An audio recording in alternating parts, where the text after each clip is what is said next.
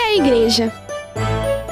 A igreja não é apenas um prédio ou um lugar santo, mas é feita por todos que acreditam na palavra de Deus.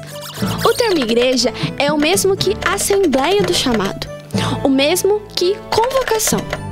Deus convoca o seu povo e o reúne de todas as partes da terra para formar a assembleia de todos que, pelo batismo, se tornam filhos de Deus pela força do Espírito Santo. É precisamente o que Jesus disse a Simão: Tu és Pedro, e nessa pedra construirei a minha igreja. Jesus ensinou que cada pessoa é uma pedra viva nessa construção. Existem ainda muitas outras imagens da igreja. Um barco que tem a tarefa de guiar cada cristão a Jesus com o poder do Espírito Santo.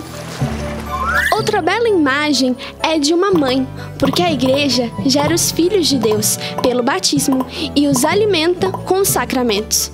A melhor imagem é o do corpo místico de Cristo, porque através da Eucaristia todos nós participamos do mesmo corpo de Jesus. A igreja faz a Eucaristia. A Eucaristia faz a igreja. Essa comunhão une todos os filhos da igreja, os que estão na terra e no céu. Mas atenção, a igreja não é feita só pelo Papa, bispos, padres ou freiras. Eles são escolhidos para liderar e conduzir a igreja. Mas todos nós temos a responsabilidade de construir a Igreja de Cristo. Eu e você somos um tijolinho nessa grande construção que é a Igreja do Senhor.